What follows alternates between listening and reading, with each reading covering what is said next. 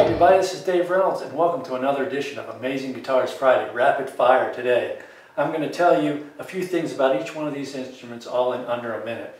There's a course in college or at a university called uh, The History of the Guitar, Lute, and Vihuela, which we have representations of here. When you think about the Renaissance guitar, think about France. And if you want to play some of that repertoire on a modern guitar, capo your guitar at the fifth fret and play the top four strings. The lute, if you want to play uh, some of this repertoire on a modern guitar, capo your guitar at the third fret and tune your third string down a half step, leaving you with G, C, F, A, D, and G. That would be the top six uh, courses or sets of strings of which the first one needs to be replaced here.